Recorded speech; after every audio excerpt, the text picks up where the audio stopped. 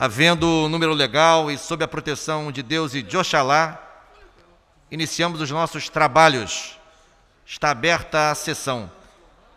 Convido o excelentíssimo senhor deputado Luiz Paulo Corrêa da Rocha para fazer a leitura da ata da sessão anterior.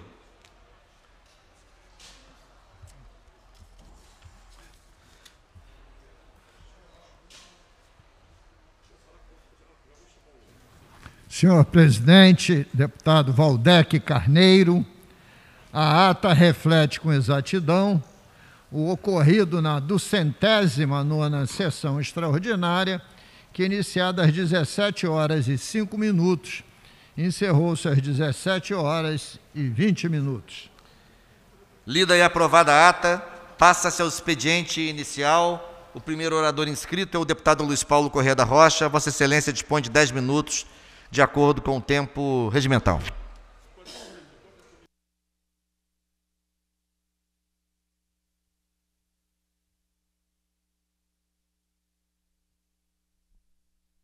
Senhor presidente do expediente inicial, deputado Valdec Carneiro, senhoras e senhores deputados que nos assistem de forma presencial ou remota, senhora intérprete da linguagem de Libras, que levam que leva as nossas vozes aos deficientes auditivos, senhoras e senhores. O Diário Oficial do Poder Legislativo de hoje, quarta-feira, 1 de dezembro de 2021, traz a publicação de algumas leis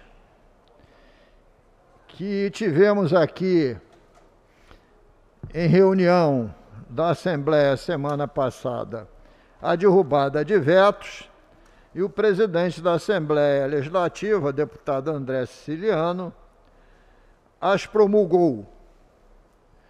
Cito entre elas a lei que eu sou um dos autores, 9501, de 30 de novembro de 2021, que regulamenta a Lei Federal 14.131, de 21, no que tange o aumento de margem consignável dos servidores públicos estaduais no âmbito do Estado do Rio de Janeiro.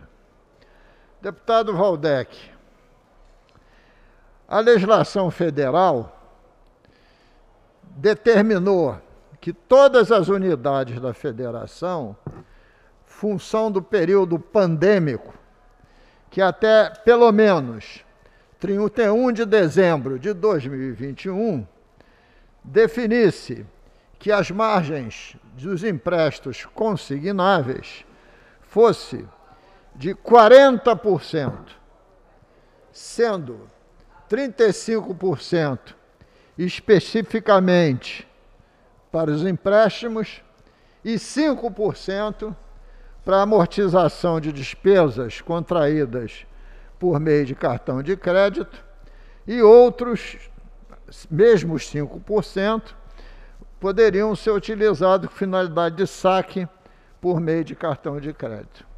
O Estado do Rio de Janeiro vinha praticando 35%, 30% de margem e 5% para os cartões de crédito.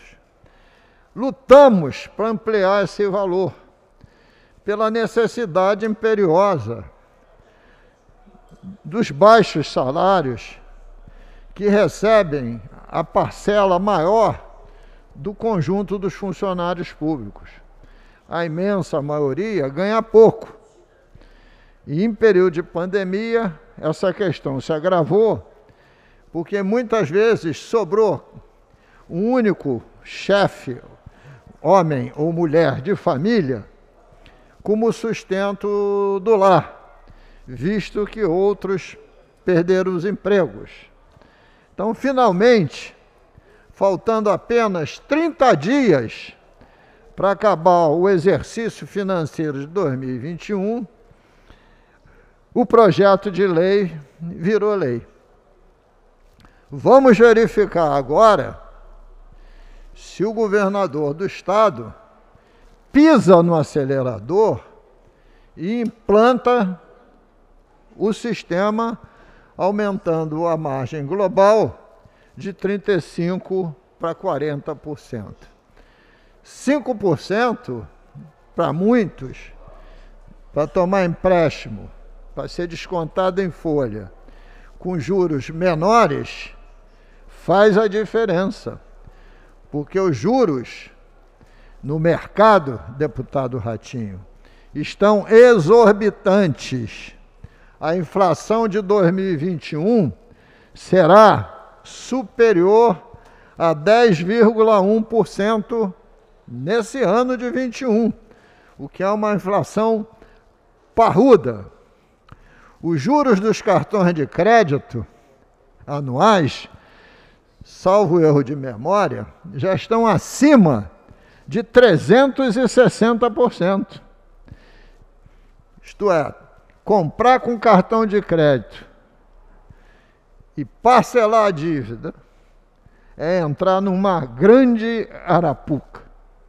Aliás, deputado Valdec, única área desse país que em qualquer governo, com qualquer temperatura, sempre se enriquece é a área do capital financeiro, é a área dos bancos, que praticam o que eu chamo da agiotagem oficial. Porque o cartão de crédito, com 360% de juros, estaria cometendo crime contra a economia popular. Dito isso, também foi sancionada de minha autoria com outros companheiros, uma lei que eu também acho importante, que é a Lei 9498, também de 2021. Ela, o veto foi derrubado e a promulgação foi através do deputado presidente André Siciliano. Esta lei dispõe sobre a redução da taxa de GRT cobrada para o licenciamento anual veicular para os condutores que optarem pela utilização do CRLV digital. Esta lei precisa ser regulamentada por decreto pelo governador. Porque quando você faz a opção para utilizar o CRLV digital, você a rigor não deveria pagá-lo na integridade. Porque hoje, esta guia que você paga, que é a guia de regularização de taxas do Detran, a popular GRT, você estaria pagando por um serviço que só parcialmente é praticado. Por isso fizemos a proposta que esta redução pudesse estar entre a faixa de 20% e 70%. O governo vetou, o veto foi derrubado, o deputado André Celiano promulgou, agora cabe ao governador, por decreto, evidentemente, ouvindo o próprio Detran, tentar chegar a um denominador comum entre esses valores aqui propostos de redução, entre 20% e 70%. Não é justo nem legal que você pague por um, uma taxa por um serviço que não lhe é prestado. A essência da taxa é você pagar por algo, isto é, um serviço que lhe é prestado. Então eu queria comentar é, esses, essas duas leis, porque foram publicadas hoje em Diário Oficial. Vou marcar uma audiência com o presidente do Detran para conversar com ele, para que ele faça justiça tributária com os usuários do Detran. Né? E essa justiça tributária seria reduzir a famosa guia de regularização das taxas do Detran, que está acima dos limites legais e justos que deveria ter. Assim, pois, senhor presidente, concluo aqui as minhas assertivas. Tenho certeza que Vossa Excelência vai fazer uso da palavra. Assuma a presidência para que o senhor faça uso aqui do púlpito. Obrigado, deputado Luiz Paulo. Já convido Vossa Excelência para assumir a presidência, de modo que eu possa intervir à tribuna.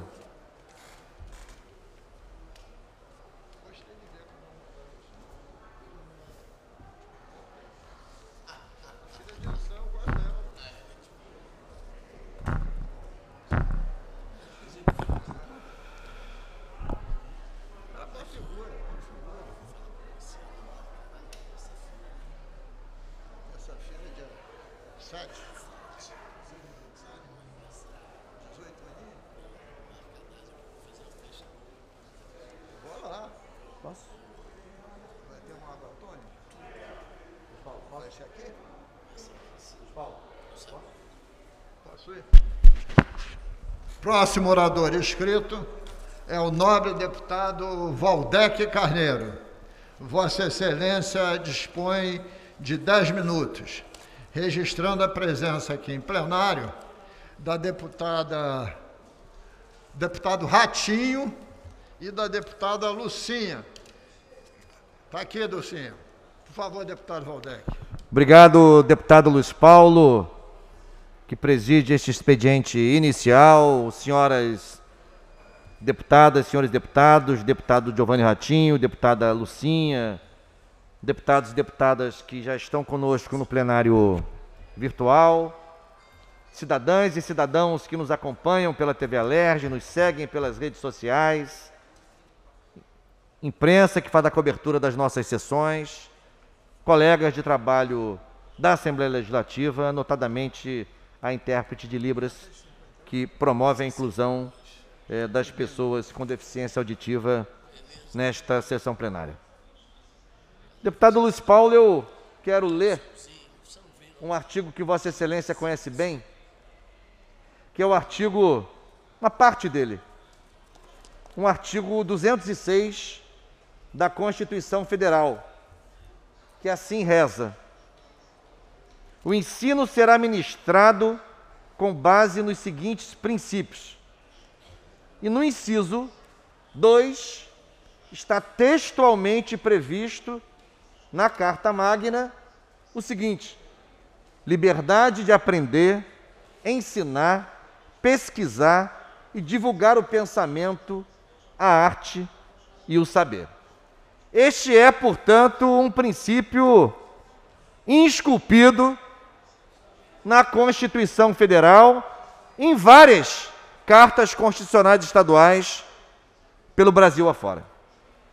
Por que começo minha intervenção da tribuna na sessão de hoje citando o artigo 206, inciso 2 da Constituição Federal? Porque me chamou a atenção, e eu fui inclusive hoje cedo alertado pelo presidente desta casa, deputado André Siciliano, que o Ministério da Mulher, da Família e dos Direitos Humanos, que está sob o comando da senhora Damares Alves, decidiu apresentar a uma delegacia de polícia no município de Resende uma denúncia baseada, por sua vez, numa denúncia anônima que foi endereçada ao Ministério.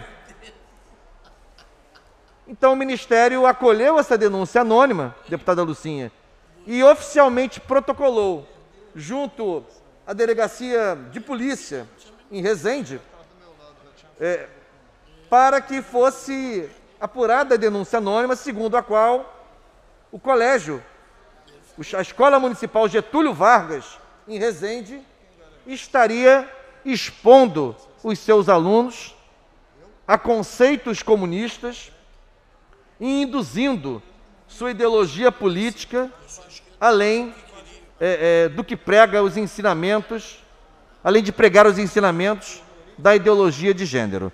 Bom, eu quero aqui, sobretudo porque a escola trabalha, entre outros temas, com seus alunos, na história do pensamento econômico, ela menciona, entre outras escolas de pensamento, entre outras correntes de pensamento, uma corrente de pensamento simbolizada principalmente pelo filósofo e economista político Karl Marx, que viveu no século XIX. Assim como também trabalha o pensamento liberal de Adam Smith, trabalha outros pensadores econômicos, tudo introdutoriamente, né? Estamos falando de ensino fundamental. É, Milton Friedman, Lord Keynes, são mais contemporâneos. Trabalha também o tema da sexualidade humana como parte dos conteúdos das ciências naturais, das ciências biológicas. O que me chama a atenção é o seguinte: primeiro, o Ministério da, da Mulher, da Família e dos Direitos Humanos recebe uma denúncia apócrifa, anônima, sobre este tema, que não é da sua alçada, não é da sua pasta, se vai levar em conta uma denúncia anônima, que se dirija ao Ministério da Educação, essa é a primeira coisa. A segunda coisa é o Ministério, ele mesmo, formalizar uma denúncia, a polícia, transformando, Luiz Paulo, esse tema em um caso de polícia. Naturalmente, o delegado convidou o diretor da escola, a quem eu saúdo e com quem me solidarizo, o professor Paulo Henrique Nogueira, na verdade não convidou, foi intimado a prestar um depoimento sobre essa denúncia anônima, sem lastro, sem fundamento, sem evidência nenhuma.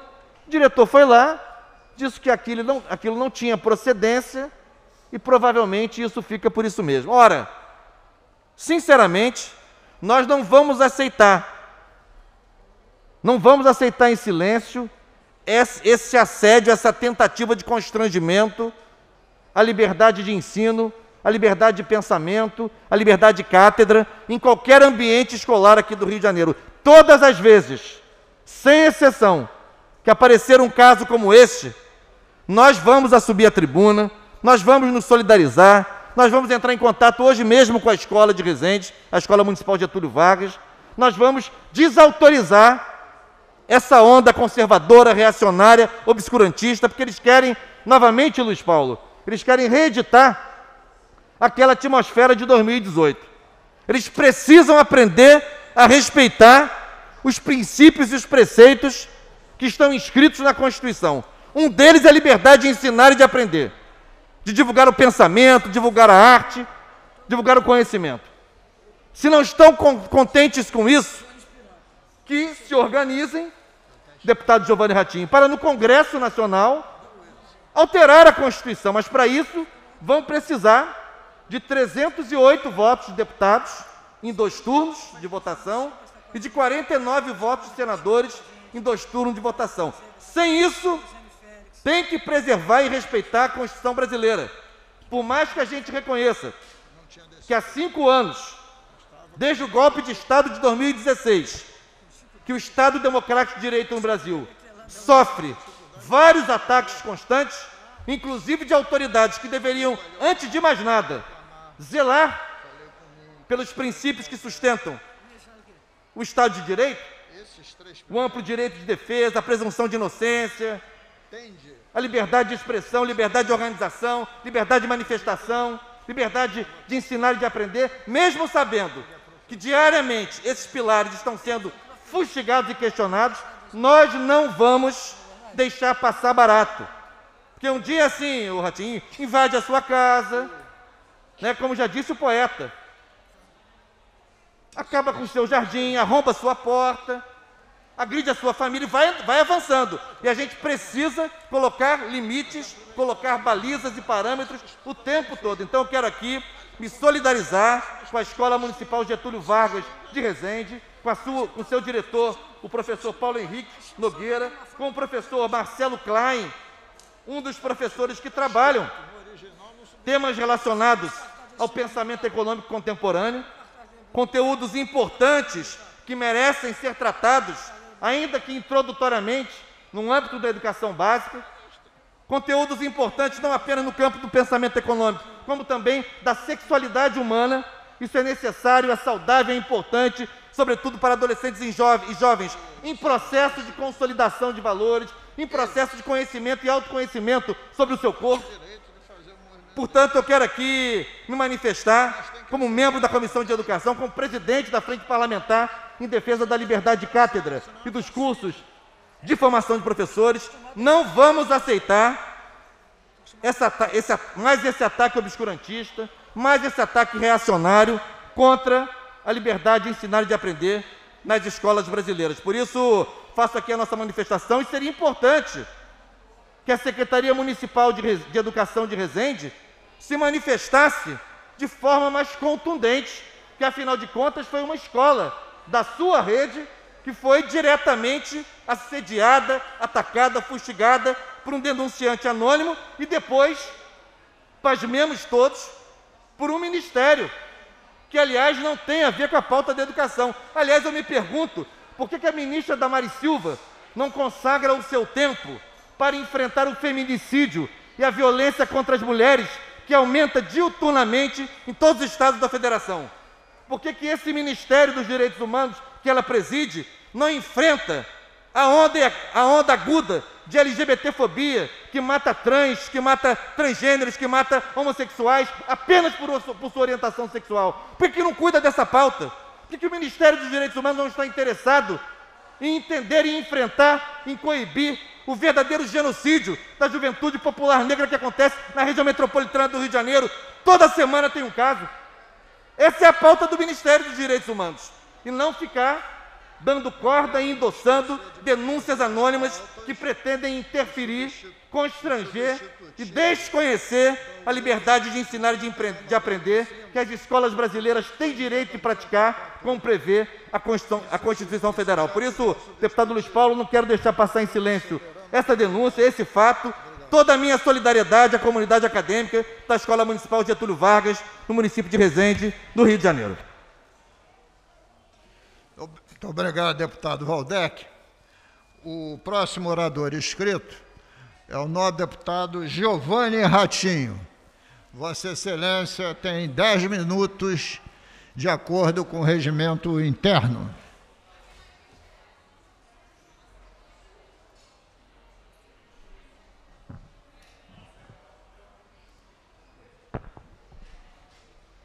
Boa tarde a todos e a todas.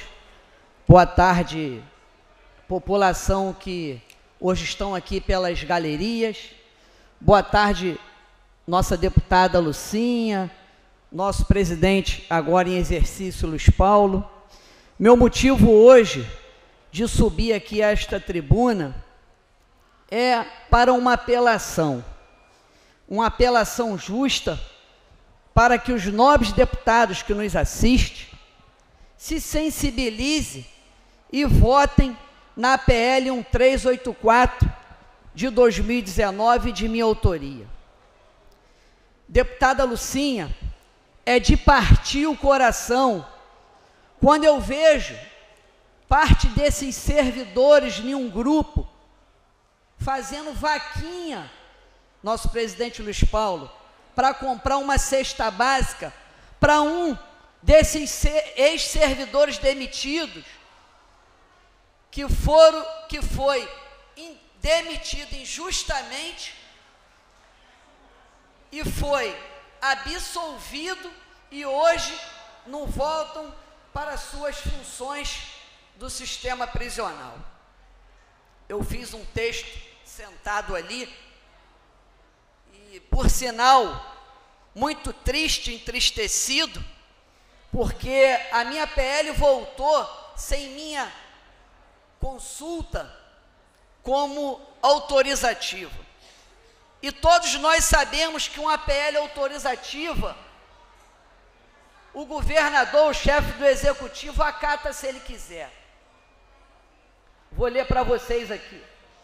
Nobre colegas, nós temos a oportunidade de fazermos história nessa casa. O parlamento tem como uma de suas atribuições seu termômetro dos anseios da população e corrigir injustiças. Hoje, votamos a PL 1384 de 2019, que anistia os profissionais da Polícia Penal que tiveram sentença penal absolvitória. Porém, no âmbito administrativo, lhe foram imputados a pena capital. Esta casa, em outros momentos, já anistiou muitos dos servidores públicos nos anos de 2016 e de 2017, quando em reivindicações contra os governos passados que, lutando por seus interesses, foram demitidos. Foi quando surgiu uma esperança nessa casa por diversos parlamentares que sensibilizaram, à época, com o surgimento da PL 2317 de 2016, por entenderem justos seus atos. Centenas de servidores de carreira foram anistiados por esta casa. Tendo como exemplo de luta o servidor que é meu suplente de deputado estadual hoje, Dória, que se estivesse em processo administrativo disciplinar, talvez só ele mas todos estivessem sido demitidos até a data de hoje. Caro deputado, sabemos que há independência entre os atos administrativos e os atos judiciais. Porém, também devemos entender que após esses servidores terem sofrido angústia de terem passado pelo crivo de um processo criminal e obterem sentença absolvitória, e sendo assim esta mais gravoso, estes fatos devem pesar e serem usados como benefício a estes mesmos servidores, não cabendo a pena capital administrativa.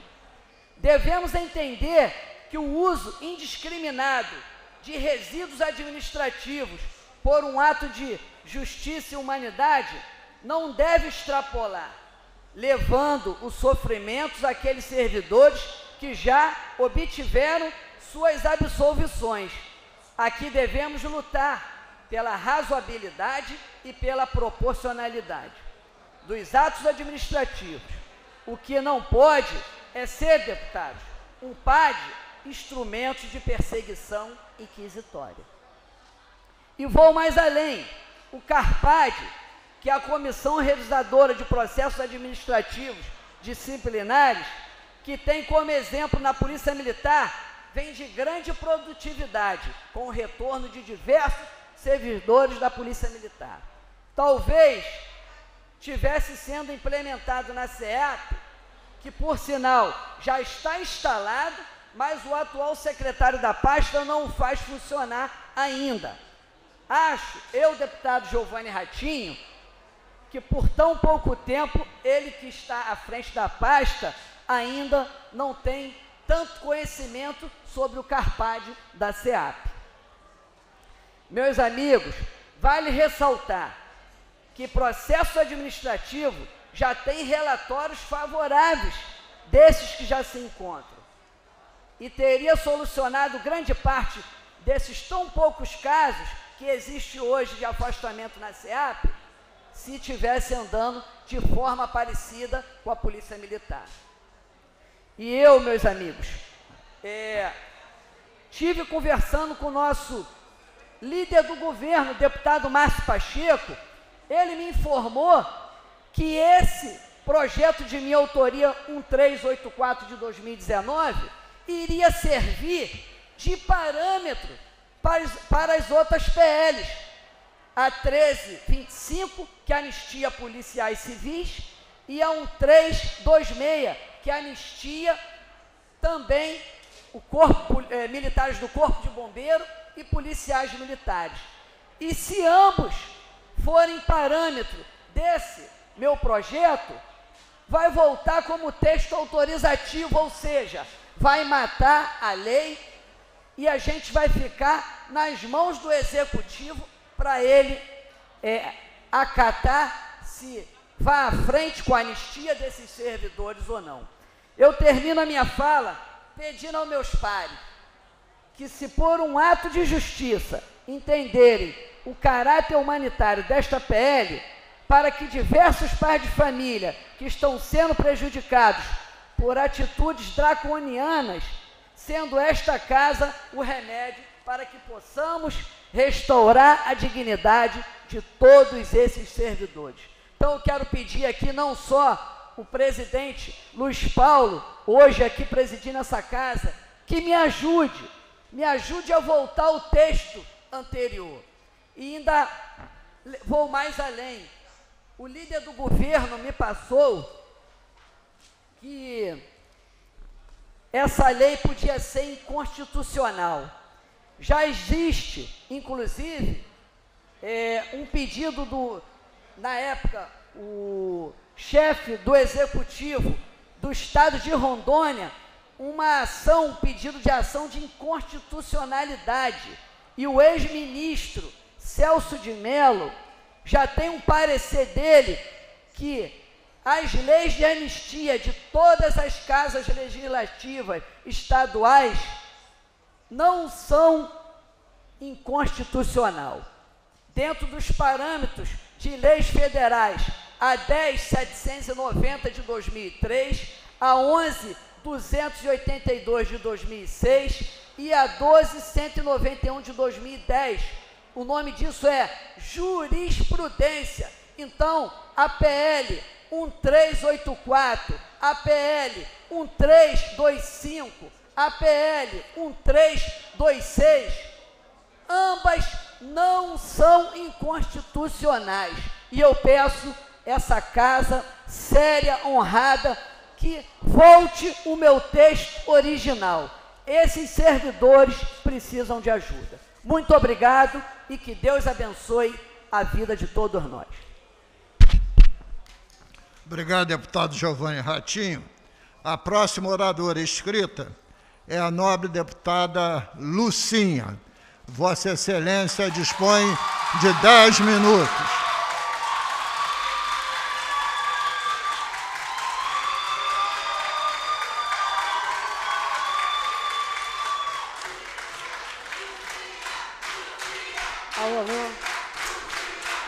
Presidente, galerias, galerias.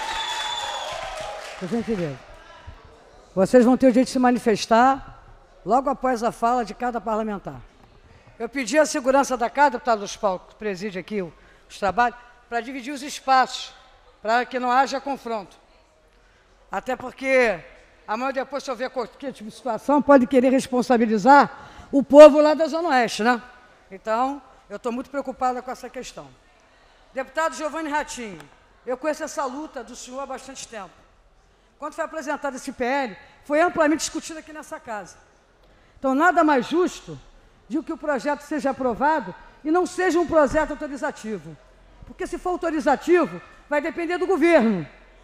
Se você depender do governo, você vai depender do governador, de sancionar ou vetar. E uma lei autorizativa não serve para nada. Nós sabemos que não serve para nada, praticamente nada.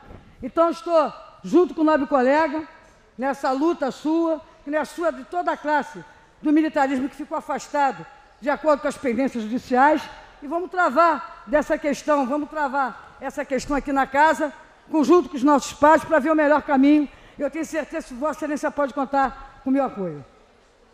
Agora, eu queria me dirigir a todos que estão na galeria, principalmente o povo lá do esquerdo aqui, que é o povo da Zona Oeste, que são os moradores da Zona Oeste. Aqui na frente, Em nenhum, em nenhum momento, em nenhum momento, deputado Luiz Paulo, ninguém estou ninguém, foi endereçado às lideranças comunitárias que representa a população da Zona Oeste, as inúmeras associações de moradores que vieram aqui hoje, que tiveram, tiveram a oportunidade de participar na segunda audiência pública e hoje estão presentes aqui, que vieram para cá, deputado Luiz Paulo, com muita dificuldade. Eu queria dizer a todos os deputados aqui da casa que hoje de manhã cedo o ramal de Santa Cruz não funcionou, deputado Luiz Paulo. Desde 4h45 da manhã o ramal de Santa Cruz não funcionou.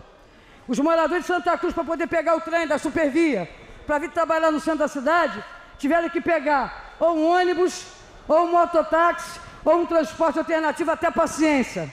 Porque só estava circulando de Paciência para Central do Brasil. Porque todo o sistema que ia direto de Santa Cruz, ali nas estações de Paciência até Santa Cruz, estava com problema, principalmente por falta de manutenção. Então, os ramais não estavam funcionando. E aí a população da Zona Oeste, mais uma vez, é padecida. Teve que pegar uma condução até paciência para depois pegar o trem para chegar no centro da cidade. Então mostra que o caminho da nossa CPI é o momento certo para investigar todas as irregularidades que estão sendo cometidas pela Supervia. Que nós pagamos a tarifa cheia, pagamos um preço absurdo e nós não temos o atendimento, nós não somos tratados de forma digna e pagamos a tarifa do sistema ferroviário. É um absurdo. E nós temos uma empresa, uma agência reguladora do Estado, a Getransp, que não fiscaliza os absurdos que acontecem. Não é só no ramal de Santa Cruz, não. No ramal de Japeri e Saracuruna. Então nós não podemos aceitar isso. Por isso que está sendo instalada essa comissão parlamentar de inquérito, que o presidente André Siriano é, colaborou no sentido de referendar para que fosse criado. E nós temos vários deputados que vão fazer parte dessa comissão para que a gente possa destrinchar e mover ações diretas contra a Supervia por ela não estar prestando o serviço que deveria tratar para a população da Zona Oeste. A minha segunda fala se refere à população da Zona Oeste aqui presente. Aos alunos da UESO. A deputada Lucinha não tem nada contra os alunos da UESO. Não precisam vaiar. E de vaia também eu não tenho medo. Que eu já vi muito deputado aqui no plenário usar da tribuna e ser vaiado. Ser vaiado e ganhar uma eleição. E já vi muito deputado aqui nessa casa, no prédio antigo, ser aplaudido e perder uma eleição. Então, isso não faz parte do cotidiano da minha vida política. Até porque eu tenho quatro mandatos de vereadora da cidade de Janeiro, nascida e criada na Zona Oeste. Estou no terceiro mandato de deputado estadual, representando a população da Zona Oeste. E hoje a população da Zona Oeste, com todas as dificuldades, com falta de, da questão do trem, passando um sufoco danado, vieram para cá, vieram para cá para poder assistir e ver de perto de que forma cada deputado vai votar. Porque a universidade, o ESO, é direito da população da Zona Oeste, que foi a Zona Oeste que lutou. Foi a Zona Oeste que lutou. A Zona, a zona Oeste. Só um instantinho. Silêncio, por favor. Gostaria que vocês... Olha só, olha só. Um minutinho, deputado Lucinho. Pois não, deputados Paula. Vossa Excelência, Eu o presidente gostaria de pedir, de solicitar silêncio da plateia. Depois que a, vereador, que a deputada discursar, quem desejar pode fazer o aplauso e o entusiasmo, e quem desejar possa vaiar. A gente não pode permitir que a deputada não discurse. Isso aqui é Assembleia Legislativa. Aqui existe contraditório, existe democracia.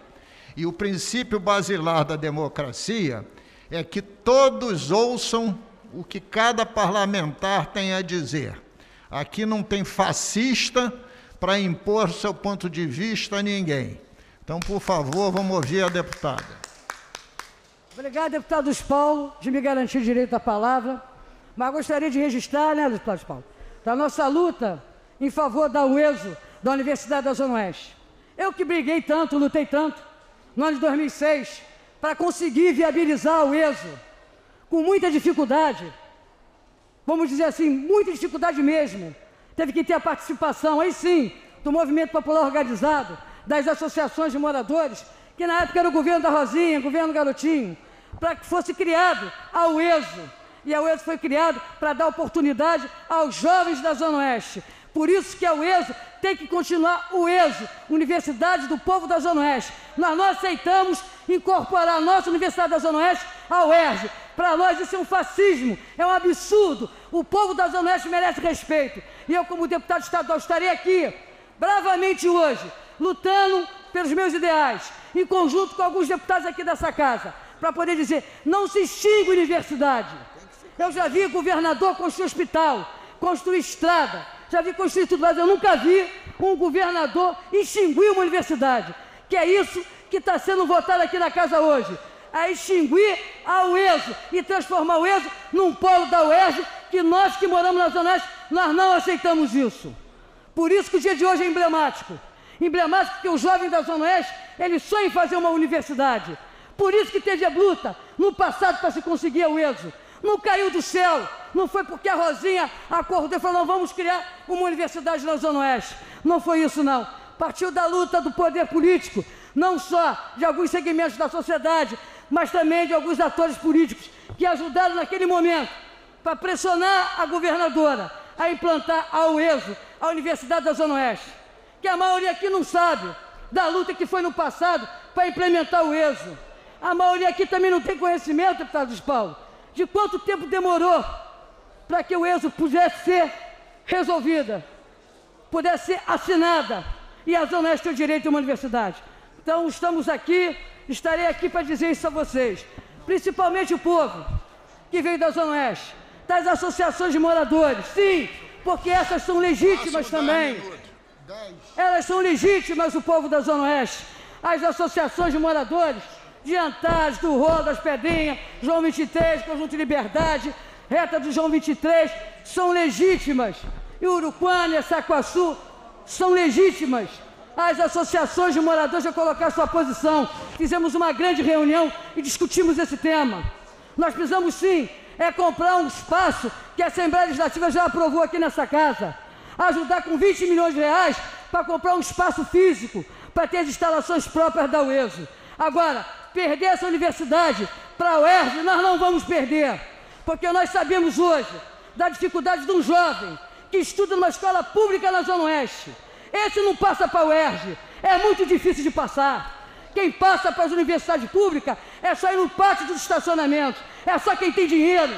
É quando o pai pode pagar um colégio Santo Inácio, ou um colégio é, é, São, São Bento, ou Santo Antônio, São Agostinho, ou então o PH, só quem tem muito preparo para passar para uma universidade pública. Porque a população da Zona Oeste, que está lá estudando, que está cursando seu curso de segundo grau, que está lá sem professor de matemática, que falta professor de português, esse vai competir como? Que vaga que ele vai conseguir na UERJ? Nenhuma. Então estão querendo iludir. E nós não aceitamos ilusão na Zona Oeste. Nós vivemos de realidade. Nós queremos um espaço físico, sim, próprio para ser o campus da UESO. Nós queremos é apoio no sentido de ampliar a quantidade de cursos superior para atender a população. Agora, fechar a nossa universidade e deixar ela, através da UERJ, um polo da UERJ, lá em, em Campo Grande, me diz quem é que vai conseguir concorrer na Zona Oeste para passar por uma, uma vaga dessa, disputar uma vaga dessa, junto com os alunos preparados que passaram por segundo grau, cursinho particular e conseguiram ingressar numa faculdade. Então, minha posição aqui, não tem nada contra os alunos da UESO, mas que fique claro, nós temos que dar oportunidade iguais a todos. E dar oportunidade iguais a todos é dar o direito da UESO continuar nas mãos da população, do povo da Zona Oeste. Muito obrigado.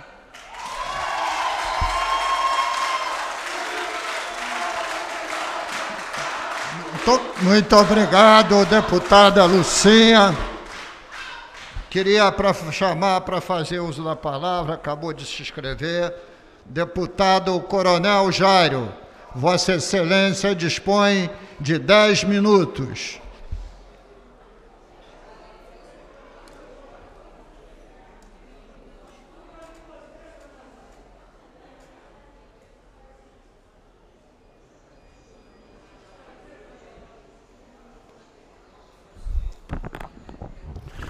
Presidente Luiz Paulo, senhores deputados, às vezes eu fico preocupado. A gente sabe que o Brasil mudou, tem coisas diferentes, e a gente não quer ser saudosista, não quer ser arcaico, mas as coisas estão mudando numa proporção tão grande. Hoje, por exemplo, esse projeto de incorporação da UESO a UERJ é um dos maiores absurdos que eu já vi. Não tem coisa mais absurda.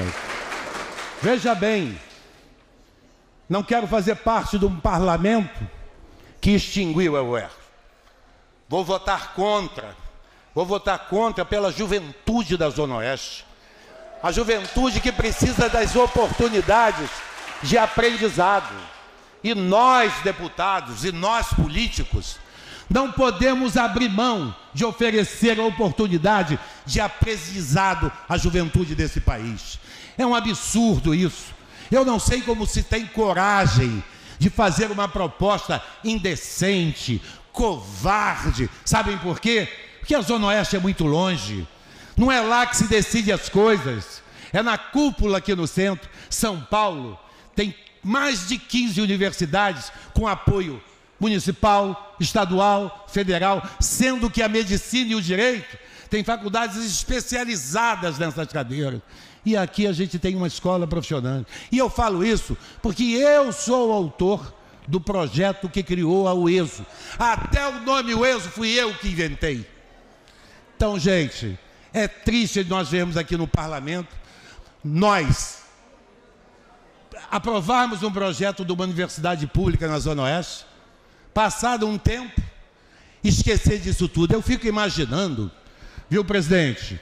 Eu fico imaginando Olavo Bilac, eu fico imaginando Rui Barbosa, que foram fundadores da Academia Brasileira de Letras. Eu imagino esses homens que se dedicaram à educação, devem estar se removendo na cova. E não só Rui Barbosa, e não só esses homens, também, também, Sócrates, Platão, Aristóteles, todos eles devem estar se remoendo na cova. Isso para não falar do saudoso professor Darcy Ribeiro. Eu não sei como é vai ter essa coragem. Eu não vou participar do par, de um parlamento que vai extinguir uma universidade. Eu não consigo entender isso. Lucinha, a educação não era a base de tudo? Não era através da educação que se dizia que a educação é a base de tudo, a base de uma sociedade organizada? E querem seguir, porque não, não veio com isso, Giovanni, de dizer, não, vai lá para a UERJ. A UERJ há pouco tempo estava em greve. Há pouco tempo estava, eu era o presidente da comissão de orçamento, estava pedindo dinheiro, que não tinha dinheiro para funcionar e agora vai pegar o ESO para incorporar? O que devia dar recursos ao ESO, o que devia entender, e eu falo isso com propriedade, porque eu sou vítima de não ter uma universidade pública na Zona Oeste. Eu, no meu vestibular, eu fiz a prova para a UERJ e fiz para a Academia da Polícia. Passei nas duas. Mas como eu era cabeludinho, era playboy, né? Falei, já está resolvido, vou para o UERJ, porque lá no quartel tem que raspar a cabeça. E a minha velha mãe, eu sou o caçula de uma família de cinco homens, negociou com os meus irmãos mais velhos.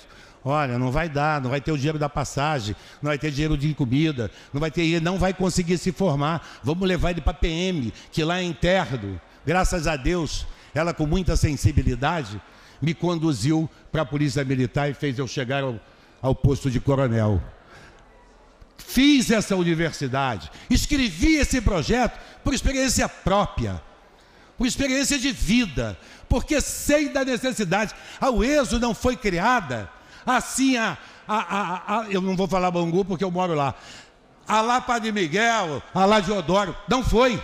Foi pesquisada a necessidade. A Zona Oeste é um dos maiores índices de desemprego. E a juventude não tem mão de obra qualificada. Nós vemos passar os ônibus da Zona Oeste assim, ó, para ir para outros centros. É um absurdo isso. Eu não acredito que os meus colegas deputados vai ter a coragem de assinar esse projeto. de passar para a história como parlamento que impediu o avanço de uma universidade ou o avanço do aprendizado no nosso país. Não acredito. Vou estar aqui no plenário. Vim para cá, estou vivendo problemas muito graves e vou resolver. Até porque todo mundo agora tem funções judicantes, julgue dá sentença. Mas vou ficar aqui para dizer não a essa covardia. A UESO não é do governo, a UESO é da população. O que deveria era dar recursos para que a UESO pudesse implementar suas atividades. Precisamos de trabalhadores, precisamos de mão de obra, precisamos de gente preparada para concorrer ao mercado de trabalho. E hoje o que vemos é as pessoas despreparadas, sem oportunidade. Gente, vou estar aqui, colocar a minha mão, porque não vou entrar para a história, não entrarei para a história como a pessoa que contribuiu para acabar com a, com a UERJ. A UERJ, a, a, a, UESO, a UESO é do povo, não é do governo. Vou aqui votar contra a incorporação. Não aceito isso. Não aceito que se faça isso com o aprendizado e com o futuro da juventude do Brasil. Muito obrigado, presidente.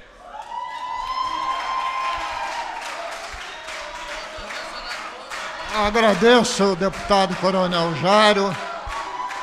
Em não havendo mais oradores inscritos e tendo em vista o adiantado da hora, está suspensa a sessão por três minutos, quando iniciaremos com a ordem do dia. Está suspensa a sessão.